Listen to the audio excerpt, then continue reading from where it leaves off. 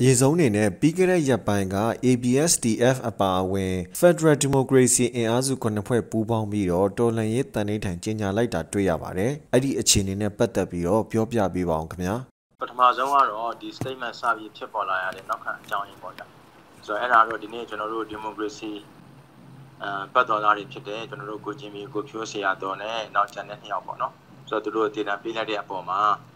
အာဒါကျွန်တော်တို့က အဲထုတ်ပြန်ကြထုတ်ပြန်ခြင်းဖြစ်ပါတယ်အဲ့တော့ပထမဆုံးအဲ့ဒီတည်တံပေးရတဲ့ကိစ္စကိုပြောချင်တာတော့နံပါတ်1တော့ဒါဥပဒေနဲ့ညီတဲ့ကိစ္စမဟုတ်ဘူးဖြစ်ပါတယ်အဲနောက်တစ်ခုတော့ဒါတော့ဆင်ခြင်လုံးတရားမဲ့တဲ့အဲဆော့ပြမှုတစ်ခုဖြစ်တယ်လို့ပြောချင်တယ်အဲနောက်တစ်ခုကတော့ဒါကျွန်တော်တို့ပြည်သူလူထုနဲ့တစ်ကမ္ဘာလုံးကိုဒါဆင်ခေါ်လိုက်တဲ့အဲကိစ္စဖြစ်တယ်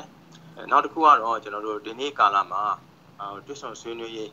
အဲတနည်းအားဖြင့်ပြောမှဆိုရင်ငင်းငင်းရေးတကားကိုသူတို့ဆွဲပေးလိုက်တာဖြစ်တယ်နောက်ဆုံးတစ်ခုကတော့သူတို့စစ်တပ်ရဲ့အခန်းကဏ္ဍပေါ့ဗျာနော် အဲရှေ့ဗမာနိုင်ငံရေးမှာစစ်တပ်ရဲ့အခန်းကဏ္ဍပေါ့နော်စစ်တပ်ရဲ့အခန်းကဏ္ဍစစ်တပ်ကဗမာနိုင်ငံမှာဘယ်လိုဆက်လက်ပါဝင်ရမလဲဆိုတာကိုသူတို့ကိုယ်တိုင်သူတို့ဆွမ်းပြလိုက်တာလို့ဖြစ်ပါတယ်နော်ဟောဒါကြောင့်ဒီပုံမှာကျွန်တော်တို့အနေနဲ့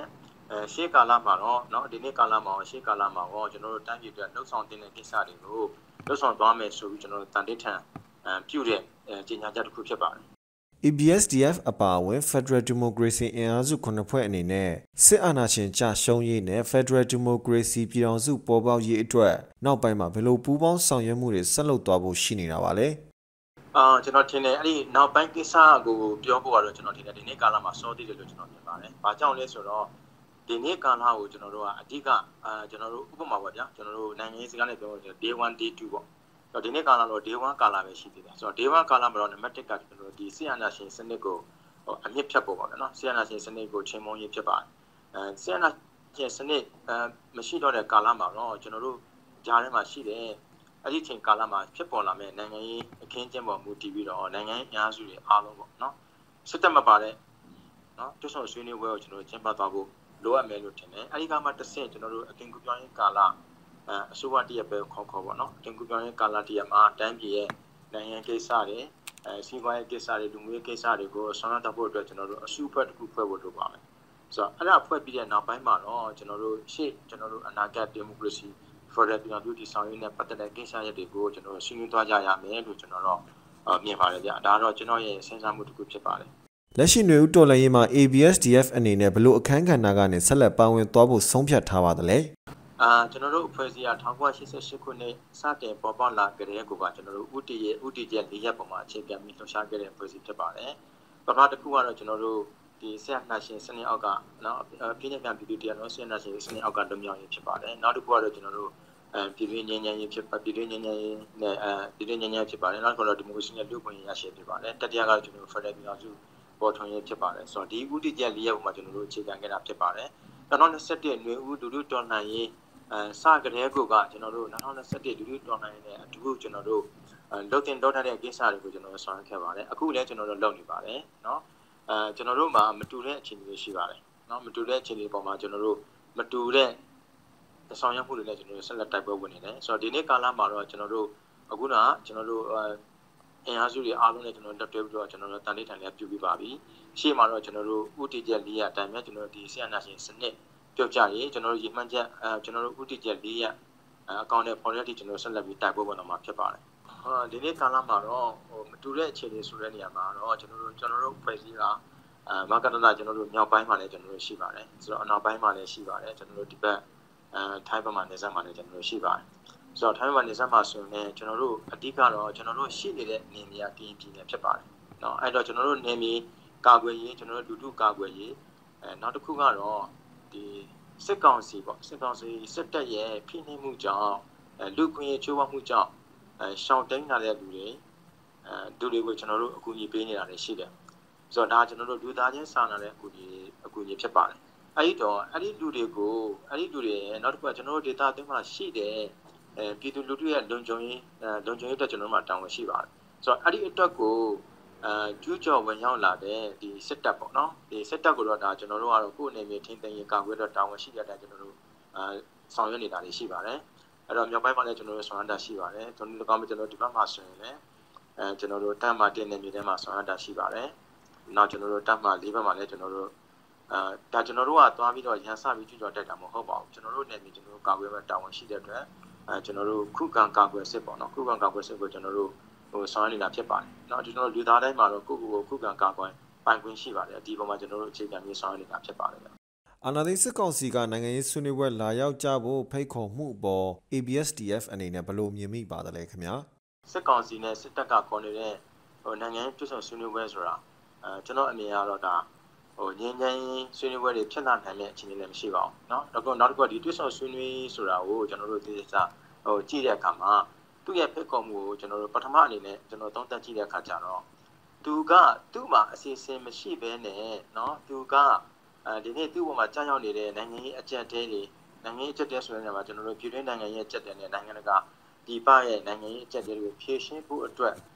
အဲယာယီဖြည့်ရှင်းဖို့တစ်ခုလိုပဲမြင်ပါတယ်เนาะအဲ့တော့ဟိုပြောချင်တာကတော့ဒီနေ့ကျွန်တော်တို့သွားပြီးတွေ့နေကြတဲ့ဖွဲ့ရှိတယ်ကျွန်တော်တို့တင်ခရစေလက်မှတ်ထိုးထားတဲ့10ဖွဲ့တည်းကဆိုရင်အဲခုနှစ်ဖွဲ့သွားတွေ့နေတာရှိတယ် ပထမသူဖိတ်ခေါ်ချက်ထဲမှာသူကအားလုံးနဲ့တွေ့ဆုံမယ်ဆိုတဲ့သဘောမျိုးဆောင်တဲ့စကားကိုပြောတော့တာဖြစ်တယ်တကယ်တကယ်လက်တွေ့မှာကျတော့သူကတစ်ဖွဲ့ချင်းစီကိုခွဲထူတာဖြစ်တယ်ဆိုတော့ဒါကဘာပဲဖြစ်ဟလာငင်းငင်းကိုတိဆောက်တဲ့နေရာမှာကျွန်တော်တို့ကအားလုံးနဲ့တွေ့ဆုံတွေ့ဆုံဆွေးနွေးမှကျွန်တော်တို့အဖြေရမှာလေဆိုတော့အခုကအဲ့လိုမဟုတ်ဘဲနဲ့တစ်ဖွဲ့ချင်းစီကိုတွေ့တယ်ဆွေးနွေးတယ်ဆွေးနွေးပြီးတဲ့အခါကျရင်ခင်ဗျားနဲ့ဒီသဘောတူညီချက်တွေကိုဟလာပြင်ပတခြားအဖွဲ့အစည်းတွေကိုမပြောရဘူးဆိုတော့အဲ ပြောဆိုချက်တွေကြားရတယ်နော်ကြားတဲ့အခါကျတော့ဒါကငင်းငင်းတိဆောက်ချင်တာလားသူ့ဂျိုးစီဘွားအတွက်တိဆောက်ချင်တာလားဆိုတာကျွန်တော်တို့ဟိုခွဲခြားဖို့လိုမျိုးချင်တာဒါတစ်ချက်ပါနောက်ဟိုဒုတိယချက်ပေါ့ဒုတိယချက်ဆိုတာတဲ့ဒုတိယချက်ကတော့ဒါပထမဆုံးချက်ပေါ့ဗျာသူ့မှာနိုင်ငံရေးတွဲဆုံဆွေးနွေးပွဲလောက်ခွင့်သူ့မှာရှိရလားနော်ပြောမှဆိုရင်ကျွန်တော်တို့အာပြည်သူလူထုကသူ့ကိုအရင်ထားတဲ့အာဏာရှိသလားဆိုတော့ तू ကဒီအာဏာရှိတာမဟုတ်ပါဘူး तू ကအာဏာသိမ်းထားတဲ့လူပဲဖြစ်တယ်ဆိုတော့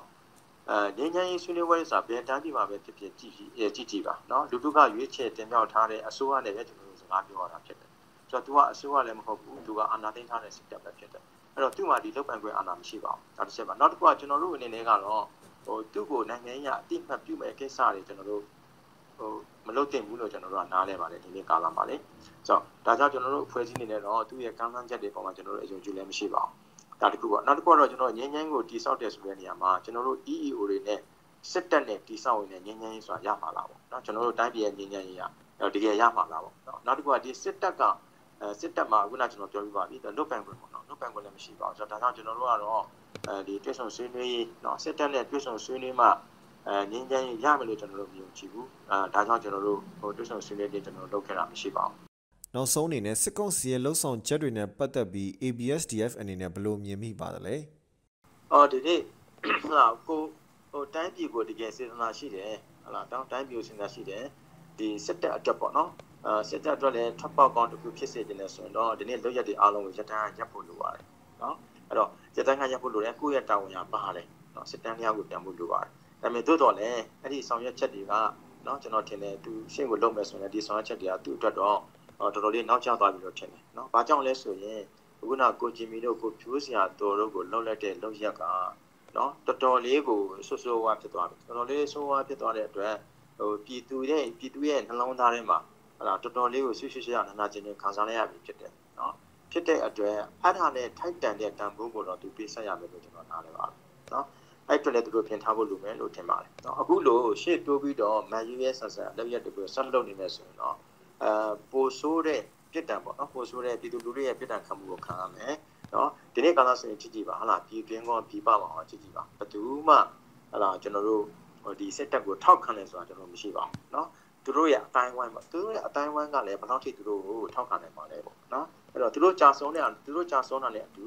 ဟာလားတိတိတူတူသူ့ကိုထောက်ခံရတဲ့လူတွေအောင်ထောက်ခံနိုင်မှာမလားပေါ့နော်ဆိုတော့ဒါဟောဒီကြာစဉ်းစားတော့စဉ်းစဉ်းစားဖို့လိုမယ်လို့ထင်တယ်အခုနိုင်ငံတကာကြည့်နိုင်ငံတကာနောက်ဆုံးသူနဲ့ တကယ်မဟာမိတ်မိတ်ဖက်ဖြစ်တယ်အခုဟွန်ဆန်ပေါ့နော်ကမ္ဘောဒီးယားအစိုးရကိုယ်တိုင်ကသူကိုယ်တိုင်ကဒီနေ့ထုတ်ပေါ်ပြောကြပြီဒီနေ့သူတို့အာဆီယံစီးပွားရေးလုပ်တဲ့နေရာမှာပြောသွားပြီမြန်မာနိုင်ငံရဲ့ပြီးခဲ့တဲ့ဒီကိုဂျင်မီတို့ကိုဒေတာပေးတဲ့ကိစ္စဘလုံးဝလုံးဝလက္ခဏာနဲ့ကိစ္စမဟုတ်ဘူးအာဆီယံနဲ့ပြန်လည်စဉ်းစားမယ်ဆိုတာမျိုးဖြစ်နေပြီဆိုတော့သူ့ဘက်မှာအဲနောက်ဆုံးရှိတာဆိုရင်တော့ရုရှားနဲ့တရုတ်ပဲရှိပါတယ်။နောက်ရုရှားနဲ့တရုတ်ကလည်းဒါသူတို့လည်းအခြေအနေကြည့်ပြီးတော့ဟိုကရတဲ့အခြေအနေမျိုးဖြစ်တဲ့ခါကျတော့သူတို့တက်ရှိအလားလာတော့ကျွန်တော်ထင်တယ်။ အာမကောင်းเนาะအရှိအလားလာတော့တစ်ဖြည်းဖြည်းပေါ့เนาะကျွန်တော်တို့ကျွန်တော်တင်တဲ့ဒီစတက်ကလည်းမကြခင်ပြောတော့မှာပါเนาะအပြိုမြန်တာနဲ့အပြိုနေတာပဲကွာเนาะအဲထုံးလည်းကောင်းပဲကျွန်တော်တို့အောင်ပွဲကလည်းကျွန်တော်ထင်တယ်အောင်ပွဲကအဲအောင်ပွဲကိုရောက်တာကျွန်တော်တို့အောင်ပွဲကိုမြန်မြန်ရမှာနဲ့ကျွန်တော်တို့က အဲအချိန်ယူရမှာလေဒါပဲပါပါတယ်เนาะကျွန်တော်ဒီချိန်ချိန်မှာကျွန်တော်ဒီအောင်ဖို့ရမယ်လို့ကျွန်တော်ကျွန်တော်လုံးဝယုံကြည်တယ်ဒီတိုင်းပဲအခုကျွန်တော်တို့အဖွဲ့အစည်းအနေနဲ့ကောကျွန်တော်တူးချင်းပေါ့เนาะကျွန်တော်ကျွန်တော်အတွက်ကတော့ကိုချင်းပြီးတို့ကိုတင်တဲ့ပေးတဲ့နောက်ပိုင်းမှာဟို လုံးဝကျွန်တော်ဘယ်လမ်းကိုရှောက်မလဲဆိုတော့ကျွန်တော်တို့လုံးဝရှင်းရှင်းလင်းလင်းဖြစ်သွားပါပြီကျွန်တော်အဲ့ဒါတိုင်းကျွန်တော်ဆက်ရှောက်ဆက်ရှောက်ပါပါကျွန်တော်တို့ဖွဲ့စည်းတဲ့ဒီတိုင်းပဲဆက်ရှောက်ပါပါဆက်ရှောက်မှာဖြစ်ပါတယ်လို့ပြောချင်ပါတယ်